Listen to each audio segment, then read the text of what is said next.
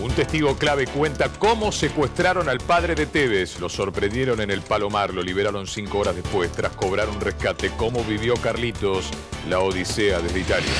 Entrenaba CrossFit. Murió tras sufrir un paro cardíaco. Manuel tenía 26 años. Se descompensó en un gimnasio.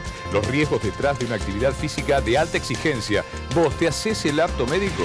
Fondos buitre. Negociación contra reloj a 28 horas del posible default. Siguen las reuniones con el mediador puesto por el juez Griesa Nueva York. Hay novedades.